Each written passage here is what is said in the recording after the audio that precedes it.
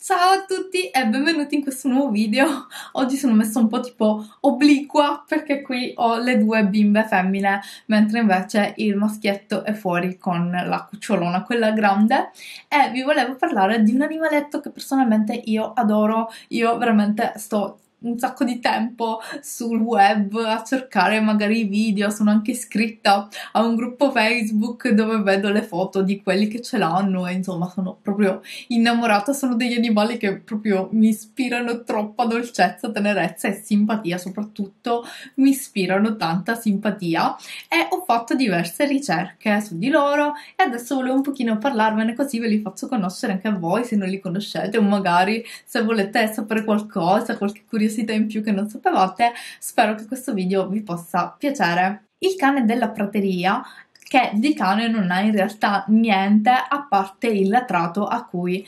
cioè per questo latrato gli hanno dato questo nome, è un animale originario degli Stati Uniti e appartiene alla stessa famiglia degli scoiattoli che è quella degli sciuridi e ovviamente è un mammifero ed è un roditore. È un erbivoro stretto, quindi se lo acquistate l'alimentazione è praticamente identica a quella del coniglio. Se non sapete l'alimentazione giusta del coniglio perché eh, in realtà molti, anzi quasi tutti eh, i cibi presenti in commercio per i conigli in realtà non vanno assolutissimamente bene e uh, idem per questi animaletti, siccome il discorso alimentazione è lunghissimo, uh, se vi interessa andatevi a guardare il mio video sull'alimentazione del coniglio che uh, diciamo che anche il coniglio è un erbivoro stretto come il cane della prateria e quindi mangiano praticamente le stesse identiche cose e un'altra cosa che hanno in comune con i coniglietti è quella di scavare dei cunicoli, delle gallerie sotterranee dove ci fanno anche le loro tane e si riparano anche dalle intemperie.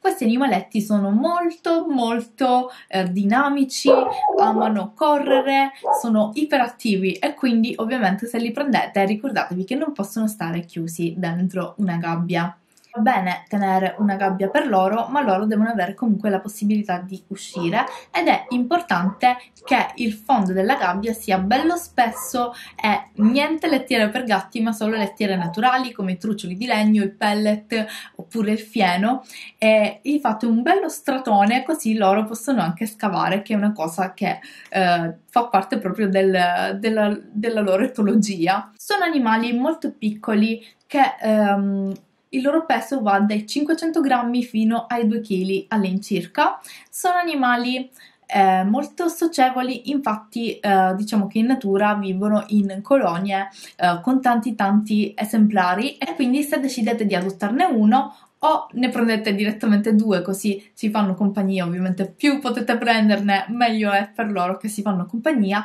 oppure se ne prendete uno solo eh, sappiate che dovete dedicargli tantissimissimo tempo perché è un animale estremamente sociale e ha bisogno dell'interazione e quindi dovete dedicargli moltissimo tempo a dedicare tanto tanto tanto tanta energia a loro. La maturità sessuale sopraggiunge dai due anni e le femmine vanno in calore soltanto una volta all'anno, di solito eh, in, a inizio primavera, eh, dove in natura hanno più cibo a disposizione. In cattività possono arrivare a vivere anche fino ai 10 anni, però rispettando ovviamente l'alimentazione in modo corretto e soprattutto facendo delle visite periodiche dal veterinario, perché per, purtroppo per questi animali non esistono dei vaccini e quindi è importante controllarli molto spesso per vedere che stiano bene. Se correttamente imprintato fin dai primi mesi di vita, eh, lui riesce a stabilire un rapporto con gli esseri umani anche di fiducia e è molto molto, diciamo, morboso con il suo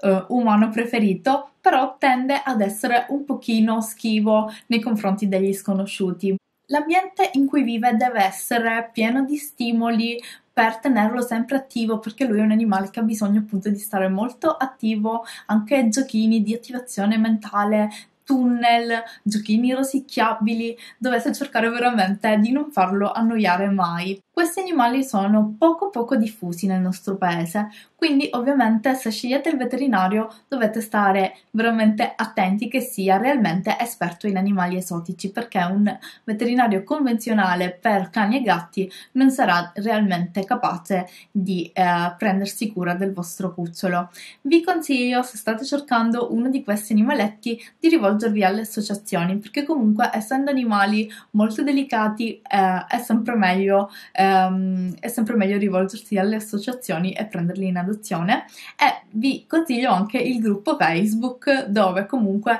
tutti i proprietari di questi animaletti condividono le loro foto e eh, potete anche scambiarvi delle opinioni, magari se avete domande, magari potete farvi aiutare da chi ha già avuto esperienza, già esperienza con loro. E niente ragazzi, io spero che questo video vi sia piaciuto, se è così lasciatemi un bel like e scrivetemi qui sotto nei commenti cosa ne pensate di questo animaletto dolcissimo, io personalmente lo adoro e niente ragazzi, io vi saluto e ci vediamo al prossimo video.